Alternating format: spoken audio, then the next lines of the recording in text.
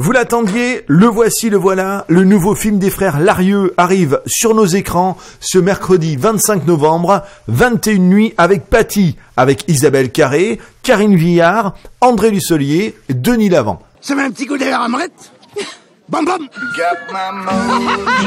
C'est un chasseur. J'aime pas les chasseurs, mais putain, quel bon coup.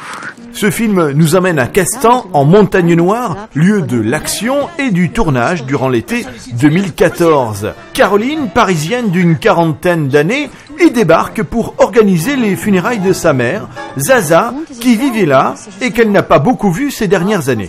Pardon messieurs, je suis bien au fond d'Extrémy Fond d'Estremier, héros. Vous êtes euh, Caroline, la fille d'Isabelle Oui. Elle y rencontre entre autres la truculente Patty, jouée par Karine Viard. Ah putain, ah, j'ai vraiment un problème avec les prénoms, excuse-moi. Mais voilà que le lendemain de son arrivée, le corps de Zaza va disparaître. Le, le corps de ma mère a disparu cette nuit.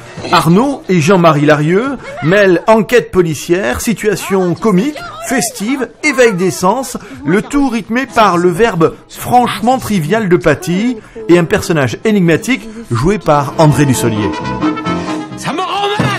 L'histoire est véritablement contée, fidèle au style des frères Larieux. Vous y retrouverez des ambiances, des paysages, des personnages qui vous sont certainement familiers. 21 nuits avec Patty, un film frais, surprenant, où l'on rit franchement et d'où l'on sort revigoré. Alors on dit merci Patty. Ne sois pas jaloux, Jean.